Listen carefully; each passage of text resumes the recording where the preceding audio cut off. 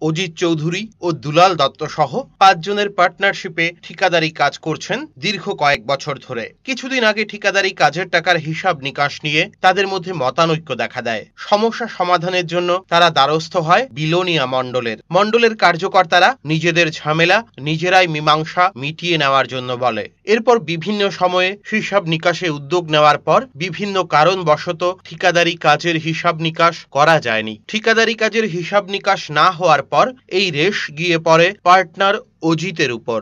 অজিত চৌধুরী যখন শ্বশুর বাড়ি থেকে আসার সময় বনকর বাজারের সামনে আসে, তখন হঠাৎ পার্টনার অরুণ দত্তের ছেলে আদিত্য দত্ত নাকি হিসাব নিকাশ ব্যাপার নিয়ে চড়াও হয় অজিত চৌধুরীর উপরে। এরপরেই তাকে আদিত্য মারধর করে বলে অভিযোগ অজিত চৌধুরীর। ঘটনায় বাজারে উপস্থিত লোকজনেরা ও প্যাট্রোলিংরত পুলিশ এসে আদিত্য দত্তের মারের হাত থেকে রক্ষা করে অজিতকে।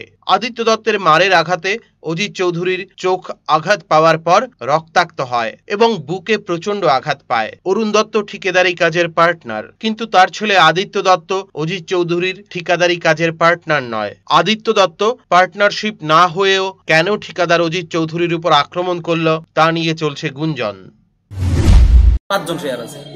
পাঁচজনের মধ্যে টোটাল হিসাব চলতেছে। হিসাবটা ডিলে হয়েছে কিন্তু বিভিন্ন কারণে ডিলে হয়েছে। হয়তো আমার কারণে বা অন্যের কারণে বা বিভিন্ন কারণে।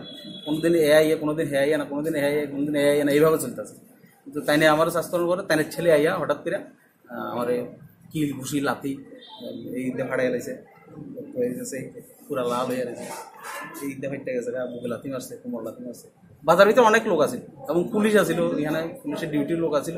পুলিশে গিয়া ছুটাই দিছে। এই বাজারের মধ্যে কী করেন আপনারা? এই মীমাংসা করেন। এরপরে বাজারের লোকও আসলে, অনেক লোক আছে সবাই মিলে চলে দিছে, এরপরে আমি আয় করছি ডাক্তারের কাছে আইছি। Bureau report, search India, TNN.